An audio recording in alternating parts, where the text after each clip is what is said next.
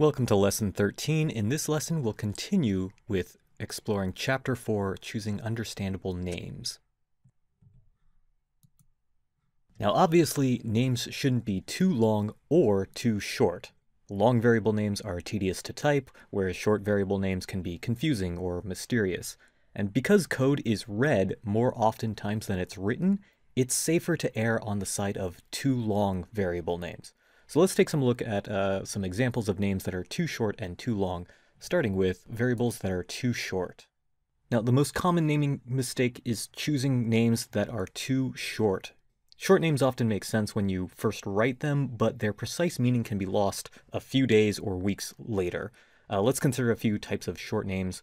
The first is a one or two letter name, uh, like G, or I don't know, M, M-O, something like that. Now, a short name like that probably refers to some other word that begins with the letter G, but there are a lot of words that begin with G. So acronyms and names that are only one or two letters long are easy for you to write, but difficult for someone else to read. And this also applies to an abbreviated name like MON. Now, MON could stand for monitor or month or, I don't know, monster any number of words. So this variable name is too short. Go ahead and write out the full word. And even then, when you write out a single word name, that can be too short. Let's think of a variable like start. Uh, well, the start of what? What exactly does this variable refer to?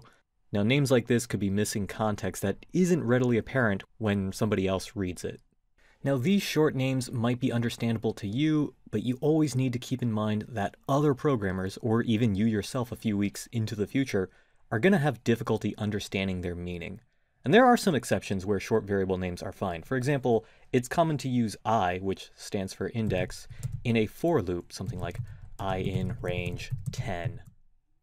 And if you have nested for loops, it's really common to have j, since it's the letter that comes after i, or k. These are examples of single letter variable names that are fine. Another example is using x and y for Cartesian coordinates. That's a really common single letter variable name. That's fine.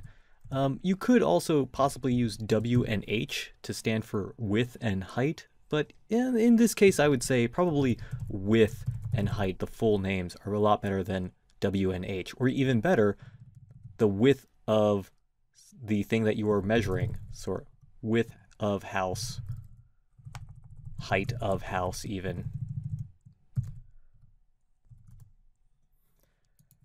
Now next, don't drop letters from your source code. This was really popular in variable or function names like memcopy, which stood for memory copy, or strcmp, which stood for string compare. These were really popular in the C programming language before the 1990s, but it's a really unreadable style of naming that you shouldn't use today. If a name isn't easy to pronounce, then it isn't easy to understand. Now additionally, feel free to use short phrases that can make your code read like plain English. For example, you could have number of trials, which is a lot easier to understand than simply number trials, which could be slightly ambiguous. Now, there are times when you can have names that are a bit too long. One of the most frequent occurrences of this is when you have an unnecessary prefix in the name. Let me open up a file editor right here. So say that we have a cat class. Now I could create an attribute for the weight of the cat and I could call it cat weight.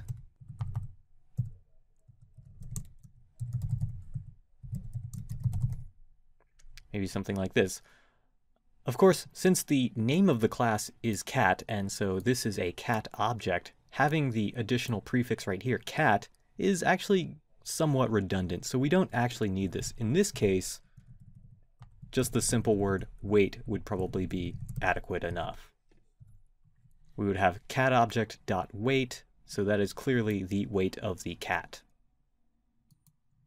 Uh, similarly, there's an old and now obsolete practice called Hungarian notation, and this is the practice of including an abbreviation of the data type in names. Uh, for example, you could have a variable named stir name to indicate that this variable contains a string, or i vacation days. And the i stands for integer, and this is the integer number of vacation days that you have. Now, modern languages and IDEs can relay this data type information to the programmer without the need for these prefixes. So Hungarian notation is pretty much an unnecessary practice today. On the other hand, is and has as a prefix is often fairly useful for creating readability. Uh, consider the following example. If we have a variable named isVehicle and a method named hasKey, have if item under repair, let's say this is some sort of dictionary object. The has key method really helps make this read like plain English if the item under repair has a key tires. And then we could have a variable name called is vehicle, which could contain a boolean value, say. That's a really common thing to store in variables that begin with is. So this says, is this a vehicle? And then we could have this as true or false. Similarly, adding units to your names can provide useful information. Uh, let's say we had a weight variable and it stores some floating point value. Now, is this weight in pounds or is it in kilograms? That's not really given from just the variable name and even the data type of the value it stores. So it might be prudent to just include something like kg at the end to specify that this is in kilograms. This is not the same thing as Hungarian notation because this isn't information about the data type, which is floating point, but rather additional descriptions of what that floating point number means. And this can be very important. In 1999, the Mars Climate Orbiter robotic space probe was lost when software supplied by Lockheed Martin produced calculations in imperial standard units, whereas NASA's software systems used metric, and this resulted in an incorrect trajectory, and the spacecraft crashed and burned, and uh, reportedly cost $125 million. So that is a big software mistake that could have been fixed just by having more readable code. Another example of variable names that are too long is whenever you have sequential numeric suffixes in the name. Let's say you have a variable called payment1, and you also have other variables like this called payment2, has some other number, payment3, payment4. Now variable names like this don't tell the person reading the code what the difference is between these payment values. Now is this payments for the four quarters in a year, or are these just subsequent payments made? What's the difference between payment two and payment four? If you ever find yourself writing variables like this, probably a better idea is to just create one variable named payment and then have it store a list or a tuple with the values stored in it. Now there's a little bit more that you should know about coming up with good names for these variables and function names, and we'll go into that in, in the next lesson.